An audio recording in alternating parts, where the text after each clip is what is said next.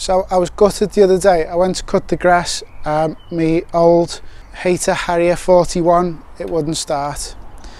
So I know absolutely nothing about engines or motors or anything like that. So I was looking down the barrel of getting someone to fix it.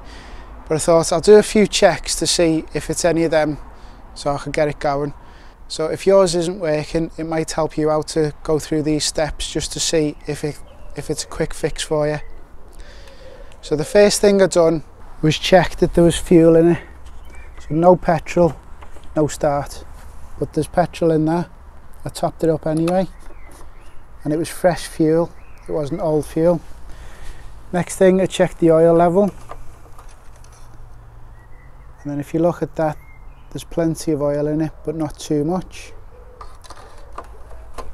So the next thing I checked was the spark plug lead was that connected properly? Because if that's off it won't start. And that was on securely. So the next thing I had to check was the spark plug itself. So I've got a 21 millimeter socket. So it shouldn't be too tight. That's unlocked it. So they should come off fairly easily unless they're corroded on. So I looked and it's full of carbon the gap in it is correct. Sometimes that gap needs opening up a little bit. But hopefully if I clean that the lawnmower should start. So hopefully it's a quick and inexpensive fix. Well say inexpensive it shouldn't cost anything. So first of all little old rag happens to be my daughter's sock. And just give it a quick clean. Just clean out the threads any muck that's on it and then with a little soft wire brush just clean some of that carbon off it. Clean out all the threads.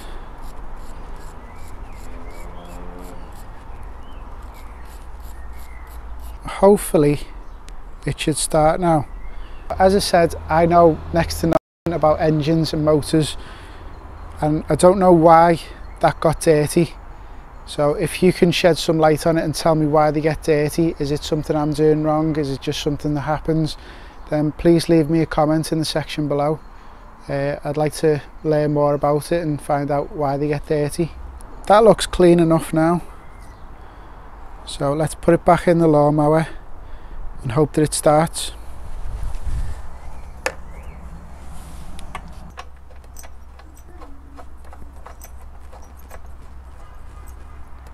So just put it in finger tight and just give it a little touch with the socket. Then put the spark plug cable back on. Make sure it's secure. And let's see if she starts. Now, although this is a, a very old lawnmower, it's a very good lawnmower. And apparently the Briggs & Stratton engines go forever. So I'm hoping this is a quick fix and it'll be running for however many years to come. So let's see. There are a few primes.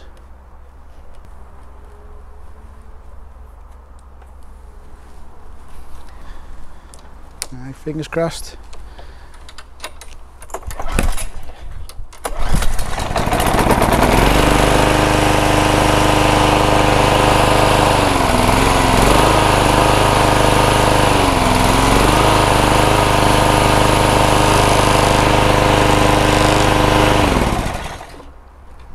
perfect. So I'm well happy. It was a quick fix. It cost me nothing. It saved me taking it to someone who could fix it for me and they probably would have charged me a fortune. So brilliant. Just spent a little bit of time fault finding. Even for someone who knows nothing about engines and motors I fixed it. So hopefully this will help you fix your lawnmower as well. So thanks for watching. Hope you enjoyed the video. If you did please hit the like button and if you haven't already please subscribe to the channel and I'll see you next time